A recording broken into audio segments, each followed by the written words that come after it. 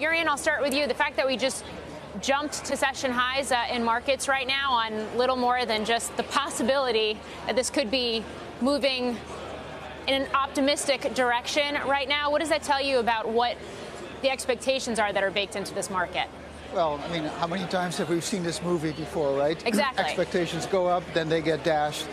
My, my base assumption is that the two sides are so far apart on the really big issues re- relating to IP, basically China's industrial policy, that yes, we may see a truce. You know, we hold back on tariffs in exchange for some ag uh, purchases. It's certainly in everyone's interest to do that.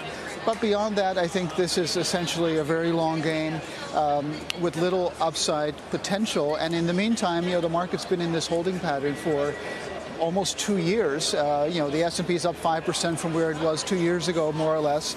Um, but normally it goes up 10% per year, right? And so I think the market will remain in this sort of late cycle purgatory while we wait for the resolution. And earnings growth is decelerating, margins are coming down.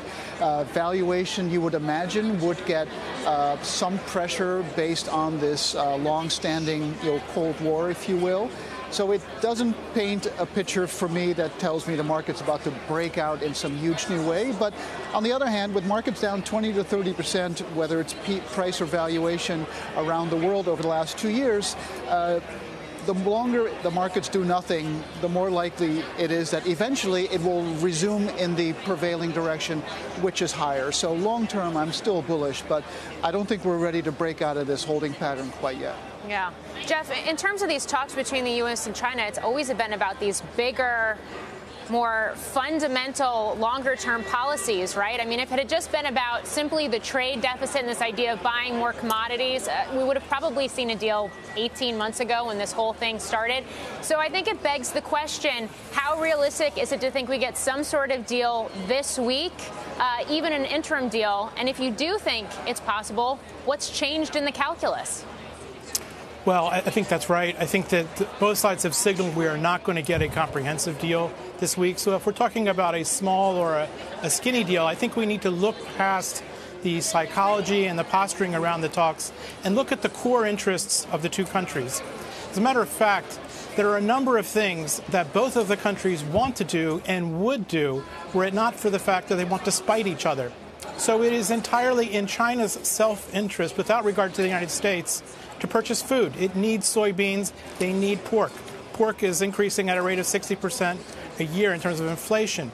On the, and they also have a number of companies, say Huawei and others, that are sufficiently innovative that they want to protect their IP. So they're willing to tinker with their IP system and protection of IP for reasons solely of their own. On the U.S. side, Trump really does not have an interest in increasing prices on consumers in the run up to Christmas. And that particularly relates to the October and the December tariffs that he's threatened. So I think he might be looking for an excuse to delay or cancel those tariffs to a certain degree.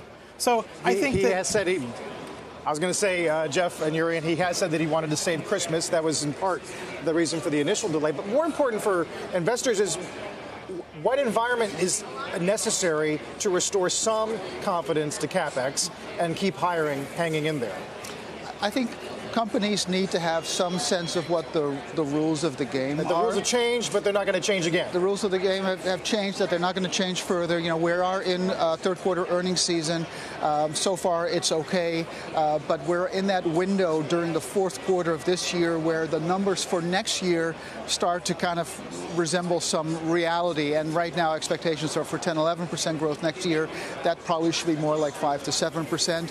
So it is a matter of, uh, of adjusting expectations and for companies to have some sense of it's okay to put your toes in the water. And, you know, I continue to use sort of the Brexit analog as an example where Brexit's been going on for three years.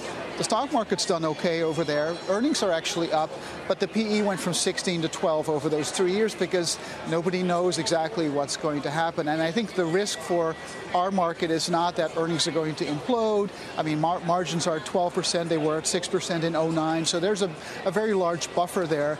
But the, the risk is that investors are just going to be less willing to pay a 17 multiple, and maybe it's more like a 15 multiple. Uh, Jeff, uh, back to the talks themselves. To what extent is the inclusion of uh, the protests in Hong Kong, the persecution of the Uyghurs, even the president's public uh, ask of the Chinese to investigate Joe Biden and his son, to what extent does that, if any, complicate the current talks? Well, these complications are all unhelpful. All of those issues are important. They should be addressed, but they should not be lumped together with the trade issues, which are difficult enough to solve basically what's happened is the stumbling block here in the trade dispute is China's refusal to address industrial policy. And since China has been intransigent since May, the hardliners in the administration have started adding new issues to the discussion, including fentanyl and other things. So these are all coming from people who, in reality, both want to gain leverage but also want to try to decouple from China. This is extremely unhelpful, and if we ever want to get to a resolution of the trade dispute, we need to focus on the trade issues solely and break out the other issues separately. Lastly, quickly, Jurriën, the other big geopolitical news of the day Turkish military coming into Syria fighting against the Kurds right now. How closely should investors be watching this? I know you got the Turkish lira at a four month low versus the dollar. It's helped propel oil markets this week. Could this become a bigger issue, especially if you're focused on emerging market? Uh, I mean, certainly for emerging markets, if you're in an index of some sort, you know, Turkey is going to matter. Uh, but it is one of the smaller pieces like Venezuela, okay. Argentina. Overall, for the average U.S. investor, um, I don't think it really changes the dial from a, just a market perspective.